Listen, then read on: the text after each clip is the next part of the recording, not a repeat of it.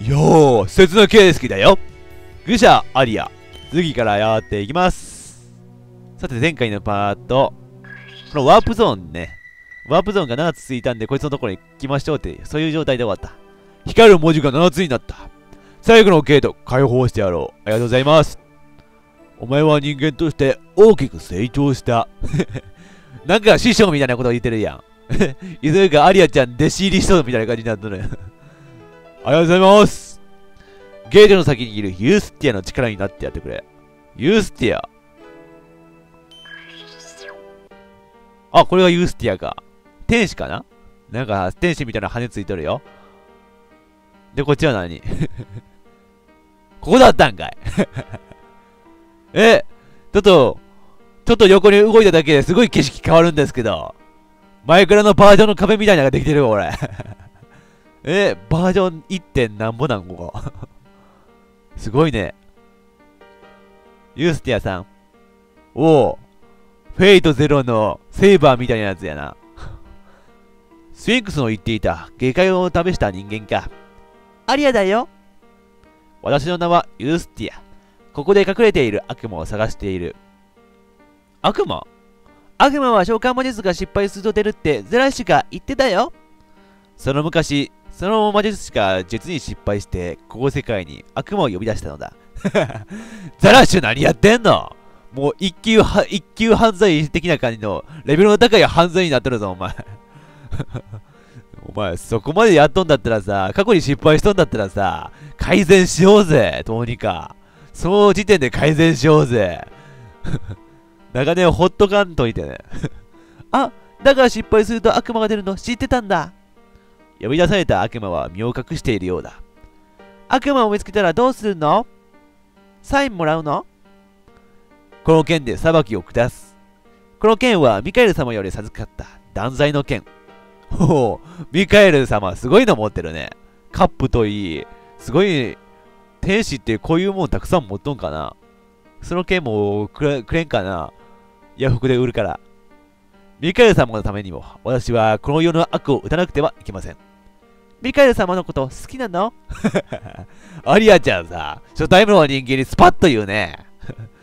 その初対面の人間そこまでスパッと言う人間はね、ミカエル、え、えっ、と、アリアちゃん、君とね、君ぐらいだけど。ば、バカなぜそうなる？ミカエル様と私では立場が違いすぎる。ほう、あからんでる。ツンデレキャラってやつかな、これ。べ、別にミカエル様のことなんか好きじゃないんだからね、みたいな感じなんか。CV つけるなら、あの、シャナとか、は、トラドラの大河とか、そのあたりの声優してる釘宮理恵さんやな。好きとかそういうのではない。憧れのようなものだ。本当に？ミカエル様、かっこいいよね。絶対アリエちゃんは恋愛的な意味で好き好きだと思ってるパターンやな、絶対。これかっこいいとか。話題は変えなくては。ありがとう言ったな。その剣はどうした？え？私の持ってる剣この剣はお城でもらったよ。物の世界に帰ったらヤフオクで売るんだいいでしょ。いい剣だな。剣術の心得はあるか？全然。アリアちゃん、チャンバラごっことかしたら大体足もつれてこけそうやもんな。そうか。共に戦ってくれると心強いと思ったのだが、仕方ないな。ごめん、力になくなくてごめんなさい。いや、謝ることはない。悪魔が見つけられないことに焦りを感じているのだ。この世界、あっちこっち旅をしたけど、悪魔はいなかったよ。いや、アリアちゃん、君、忘れたのか。あの、隠れるの下手な隠れるの、隠れるおじさんのところ、あったやん、悪魔の召喚儀式の、なんちゃらがあるみたいなこと言おったやん、あの、隠れるの大好きおじさん。言おったよ。忘れたん。二つぐらい、二つ前のパートの話だけど、もう忘れたん。二つやっけ？やはり人の立ち入らないような場所に姿を隠しているのだろうか。もし隠れている場所を見つけたら、教えてくれね？これを持っていてくれないか。おおザ・ジャスティスジャスティスカード渡されたんやけど、すごい。これを提示すればどんなことをやっても許されそうな気がするな。カード？カードを使えば私がすぐに駆けつける。場所を教えてくれるだけでいい。悪魔は想像よりも危険なやつだ。あとは私が何とかする。うん無理だけはしないようにな。やったーじゃあ悪魔見つけたらこいつ呼ばずに私で戦おう。そうしたら英雄になれそう。愚者アリアから英雄アリアになりそうやもんな。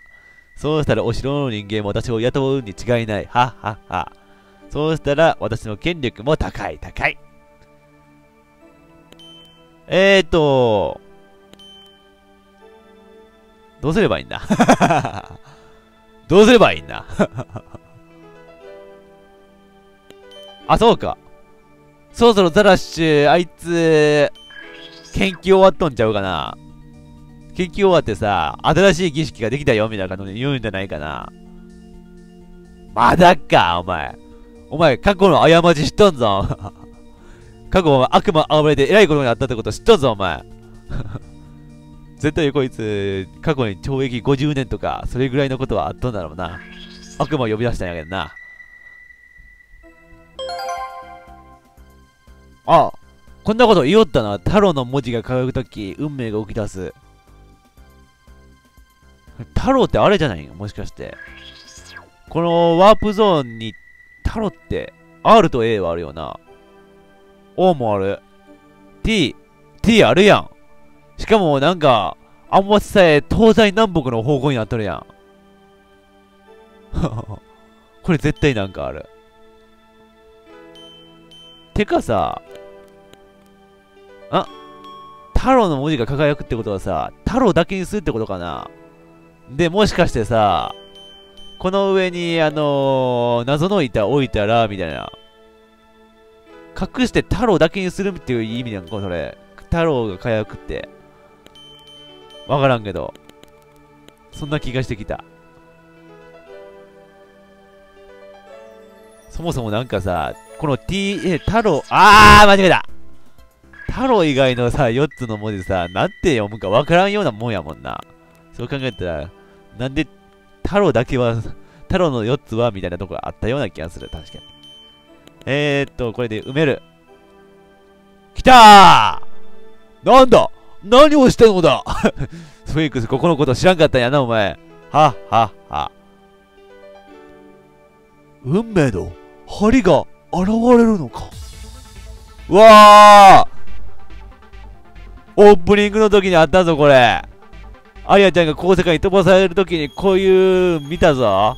これだったんじゃ。すごい。人の温かさを感じるような光が、この世界に舞い降りてる。こんな時に、お客さんかしら？どういうこと？えー、何してんの？あの、お、お前大丈夫だった？ん ハングでもお前大丈夫だ大丈夫やんかな、それ。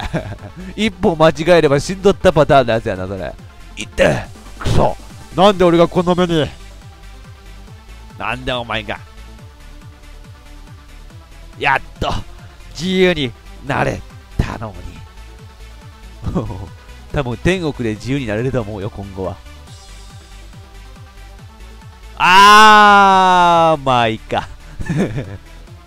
声が足りなかったのか。声さえあったらうまくいったのにようやく研究終わったんじゃ。やったこの後、ザラシのとこに行けばいいってこと教えてくれたわ。ありがとう。運命の針が動いて、下界に変化が現れたようだ。変化が現れたからこそハングドマンが倒れたみたいな感じになってる。やったーハングドマンこの世から天国に行ったや、天国じゃないんだ。多分地獄だな。やったーまあ何にせよ、何にせよ、ザラシのとこ行けばいいんだよ、これ。やったー話進んだザラシ見とったぞ研究終わったんやなありゃ僕の渡したカード、まだ持ってる？うん。どのカードだったっけ？俺、ザラシ、どのカードを受け取ったかもう覚えてないわ。成長した僕の力、見せてあげるよ。え？成長した僕の力って何なん？それ、下ネタ？カードが光ったけど、何かしたの？僕のタロットカードを強化したのさ。緑の植物以外でも燃やせるようにしておいたよ。マジか！え、緑の植物以外でも燃やせるって、ザラシお前の髪の毛とか燃やせる？今まで魔術が失敗したのは僕が未術が未術だったからなんだ。やっと気がついたよ。今更やろお前、どんだけ自己、えー、慢心しとったん そりゃ悪魔呼び出してもそのままに俺は、お、俺は悪くないんだからな、みたいな感じで思っとっただろ、お前絶対。そんなことないよ。もう、召喚魔術はやらないのあの後、研究を進めてたら、重大なことを見落としてたんだ。召喚魔術には、備え物となる神聖な食べ物がないと成功しないみたいなんだ。生贄的な感じなんだ。そうなんじゃ。神聖な食べ物は、天使とか神の食べるものだから、僕らには用意できないんだよ。なるほどな。えー、備え物なしだと、また黒い人とか変なのが出てきちゃう。そっかー。そりゃアザラシ成功せんわな。分かっても成功せんわ、こんなん。え？それは遠回しにさ、ザラシ、アリア、供え物も、供え物を神にもらってきてくれないかって言ってるか、お前。お使いしようとしてるか、お前。もうストレートに言わんだけマシンだったと思うけどさ、それ遠回し、供え物持ってこいって言うんだろ、お前。ザラッシュ、お前そういうところ変わってないな。若干顔をされたぐらい変わってないな。とにかくだ、カードの力が強くなったってこと魔術師プラスになって、プラスがついてる。邪魔な植物。あそれであそこ、あそこを燃やせるんじゃ。そういうことじゃ。おお、話がどんどん連鎖していくようにどんどん増えていくやん。すげえな。ここまでスルスルいくとは思わんかった。でもさ、先にやりたいことがある。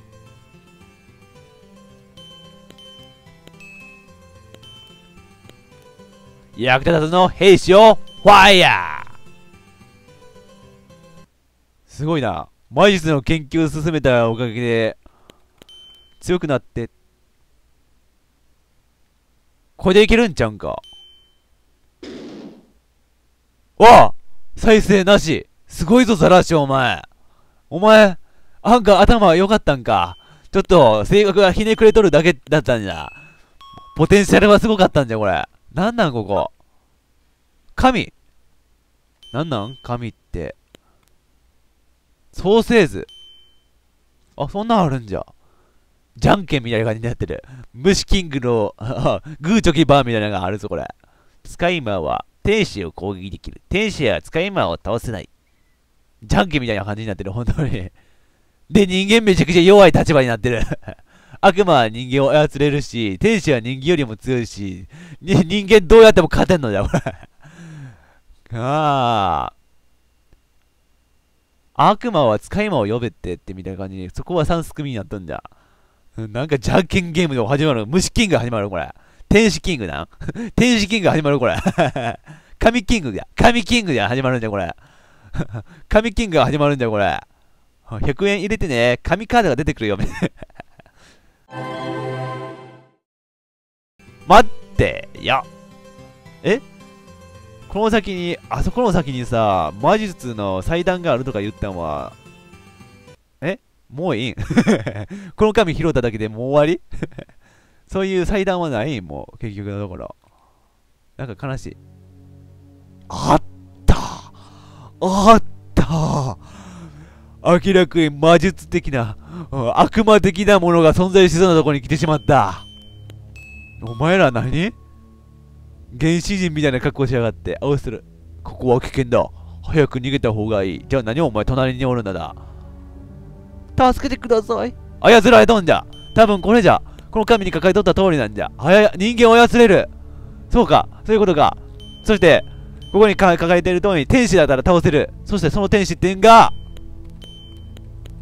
ジャスティスユースティア、行け使えんのかい？ちょっと待ってあ、一回話しかけて悪魔ってことを確認するんやな。なんだこれ。若干適当な感じやな。ワンパンまで出てきて、埼玉で一撃で倒されそうな悪魔出てきたな。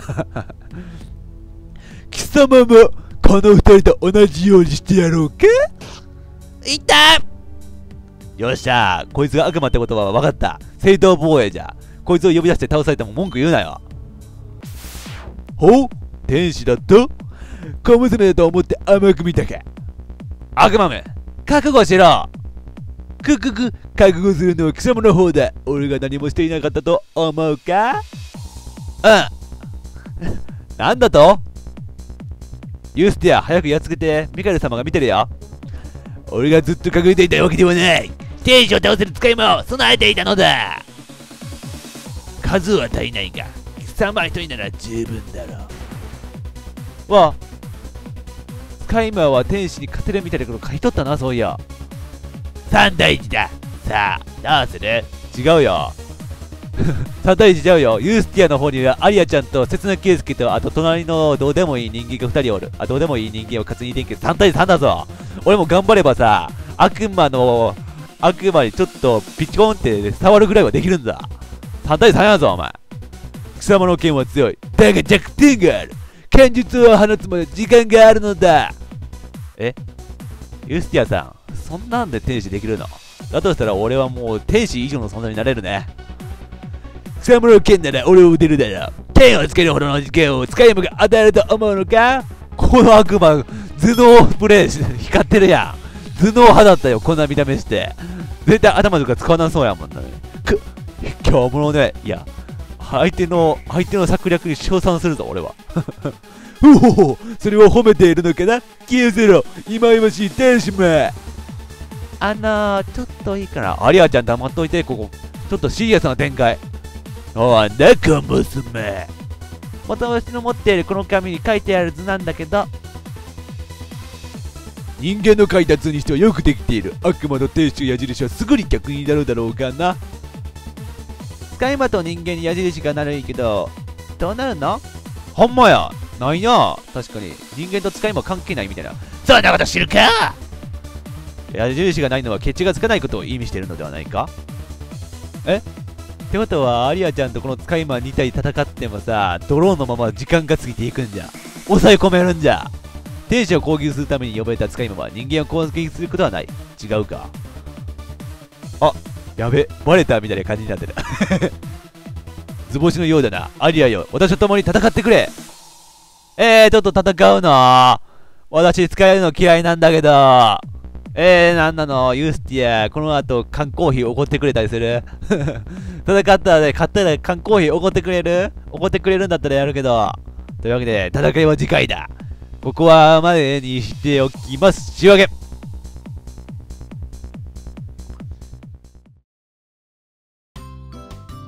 さあ、まさかの悪魔との戦いが始まったでもよく考えてみたら、これザラッシュが呼び出した悪魔だろうから、ザラッシュがちゃんと戦わんかったらあかんのが推だと思うんやけどな。